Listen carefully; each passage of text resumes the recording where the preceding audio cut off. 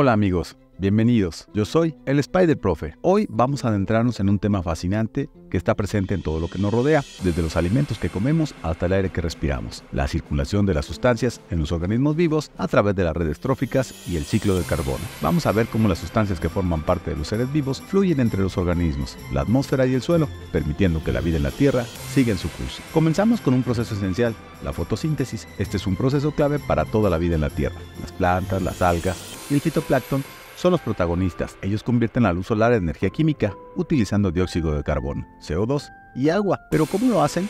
A través de un fascinante proceso donde la luz del sol captura por los pigmentos en las hojas, como la clorofila, se convierte el CO2, es decir, el dióxido de carbono, y el agua en glucosa y oxígeno.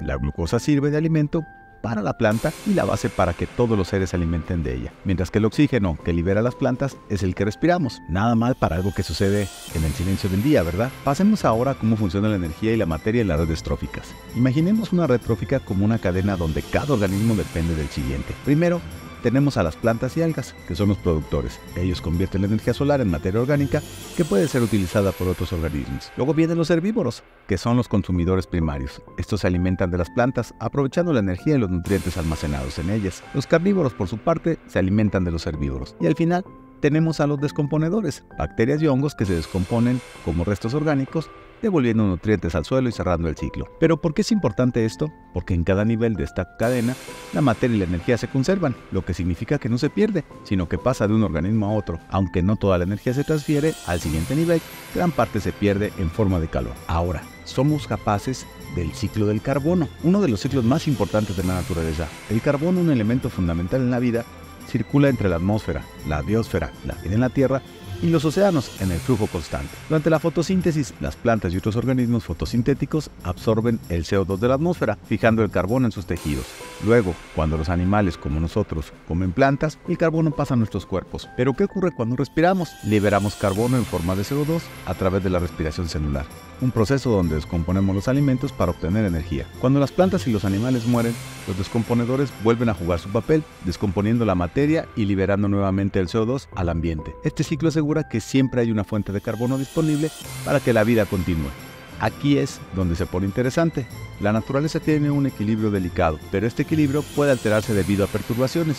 Por ejemplo, la quema de combustibles fósiles y la deforestación han aumentado la cantidad de carbono en la atmósfera, afectando este ciclo. Esto ha llevado a fenómenos como el calentamiento global. El exceso de carbono en la atmósfera no se puede absorber de manera eficiente, lo que provoca un efecto invernadero y hace que la Tierra se caliente. Esta retroalimentación desestabiliza los sistemas, afectando a todos los seres vivos, desde los organismos más pequeños hasta los más grandes.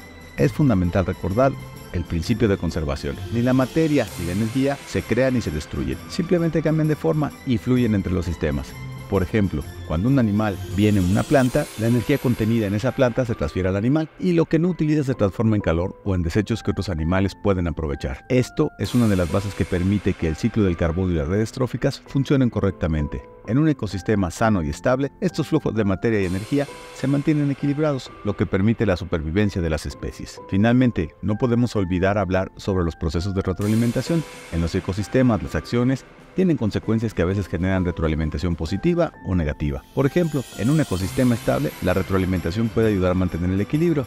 Cuando hay más herbívoros, los carnívoros también prosperan, pero cuando se rompe ese equilibrio como ocurre en el aumento del desmedido del CO2, la retroalimentación puede hacer que el sistema sea cada vez más inestable, afectando a todos los organismos que dependen de él. Finalmente, la fotosíntesis es clave para la vida en la Tierra, ya que convierte el CO2 carbono en energía para las plantas y el oxígeno para nosotros. Las redes tróficas muestran cómo la materia y la energía fluyen entre los organismos, asegurando la cantidad, asegurando la continuidad de la vida. El ciclo del carbono es un proceso natural que permite que el carbono circule entre la atmósfera, la biosfera y los océanos. Las perturbaciones como el cambio climático alteran este ciclo, afectando la estabilidad de los ecosistemas. La conservación de la materia y la energía es crucial para entender cómo se mantienen estos flujos y los procesos de retroalimentación juegan un papel importante en la estabilidad del sistema. Bueno, espero que estos contenidos te hayan ayudado. Recuerda, yo soy el Spider Profe. Nos vemos más adelante. Hasta pronto.